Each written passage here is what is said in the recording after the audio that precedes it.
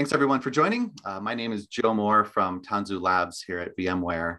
And we got a balanced team together to talk about balanced teams. So uh, we have uh, Toby here from an engineering background, Annie from a product management background, and Jason from a design and user experience background.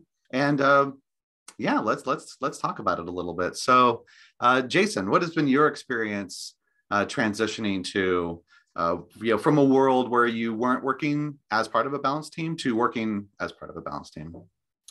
So yeah, I think the the challenge with balanced teams that folks have when they're transitioning to them is that uh, they kind of struggle against some of the norms they may be coming up against from prior um, businesses or companies that they may have been working at. So, and I feel like as long as people can kind of get over that moment and really start to hear the other disciplines that they feel probably are less important than their own, um, they'll have a much more successful time transitioning to a balanced team philosophy. Toby, what has been your experience like from an engineering point of view? Yeah, um, for me, the transition to balanced team kind of came in a few different phases. And so often when folks see this framework, the first thing they do is like, cool, we've got engineering, we've got users, we've got business. Let's put a designer here, a product person here, and an engineer here. And oftentimes they kind of stay in their own lanes. And that's what a lot of companies do today, right? Sometimes they're on the same team, sometimes they're across organizations. When it comes to transitioning to balanced team, you want to co-locate those folks on team as much as you can. Um, it's given me some great opportunities to do things like sit in on user interviews, which from an engineer, if I'm implementing software and I understand the user more deeply, that's uh, profoundly um, helpful when it comes to even how to implement a front end feature, back end feature, those sorts of things. And I really haven't gotten those connections before without working in a balanced team kind of environment. Yeah, totally. Um, yeah, speaking of product management, what has been your experience, Annie? Sure. So this was also a totally new concept to me when I came to labs, and it definitely took some adjusting. I kind of came from a background of startups. Um, so the PM, like when I was at a startup, was responsible for a lot. And honestly, it just did not feel healthy or sustainable. So when I slowly adapted to this uh, way of working with a really truly balanced team where responsibilities were shared, everyone shared ownership for the success or the failure or different learning objectives. Um, it was kind of like a, a breath of fresh air where I was like, ah, oh, I can I can breathe again and know that like my engineers have me on like this stakeholder discussion. I know that the design folks are going to push back on that one um, risky area that we were looking at a prototype. So uh, it took a while to adjust, not going to lie, but then I was definitely hooked.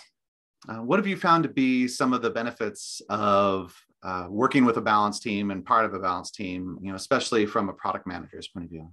I think having a balanced team, you really have a, uh, you don't have this like central point of failure or a single point rather, because um, now all of this is shared. So now if Toby and Jason are my team, they are fully aware of, hey, these are the risks that we're trying to buy down.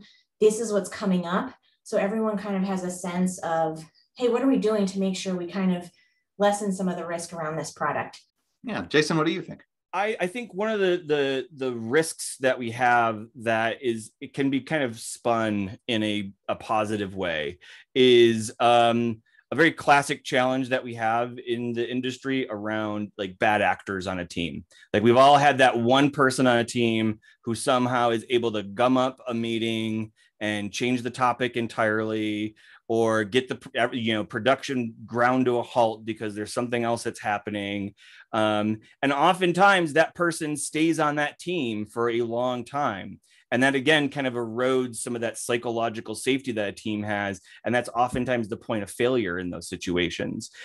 They, they tend to affect a balanced team more in the sense that everyone else is trying to work together and here's this one person who you know comes in to stand up and is like i'm gonna go work alone today on like machine learning when nobody asked for anyone to work on machine learning on the product. In a balanced team because it's a little bit more acutely felt and because there isn't a point of contact to kind of have to run it up the ladder who might bury something like that i know joe that you and i both have been on teams where it's like here's someone who does not like the philosophy doesn't like balanced teams really wants to work alone three months later they're the biggest advocate right. and like they understand that like once that trust is there like they realize how freeing that can actually be Yeah, absolutely. And and you bring up a really good point that you know we uh, we have a balanced team here, and we all come from our traditional disciplines.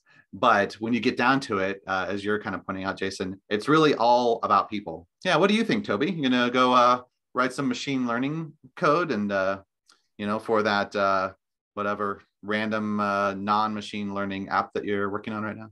I mean, we should probably put blockchain in first, um, yes. because that's clearly the right place to start. Realistically, some of the benefits um, that I've seen, especially with pairing with design and PM, is from from a technology perspective. I kind of come from the opinion of most any technical decision is justifiable with proper context. There are obviously edge cases, so I don't want to get flamed for like certain certain things. But when I have um, the risks in my head that Annie is researching and the context of what our users actually need from Jason, our designer, I can now scale appropriate technology decisions based off of more information, which makes it more likely I'm going to make good decisions. Um, the other thing that I really love about working in Balance Team is I, I really love pairing with designers. I think it's great. Um, I think you know being able to sit down with a designer and iterate on a design where I can change front end code uh, with them, and they can give me immediate feedback on okay, move this one pixel to the left, one pixel to the right, or whatever it might be.